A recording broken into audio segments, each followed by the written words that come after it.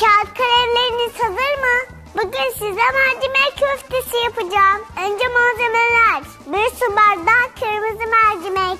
iki bardak bulgur. Bir tane kursan. Bir demek maydanoz. Yarım çay bardağı sıvı yağ. 2 yemek kaşığı salça. Bulgurla mercimeği suda pişirelim. Soğanları doğrayalım. Üstüne sıvı yağ ilave edelim. İyice kavuralım. Salçayı da ekleyelim. Birlikte karıştıralım. Pişirdiğimiz mercimeği ilave edelim. İyice yoğuralım.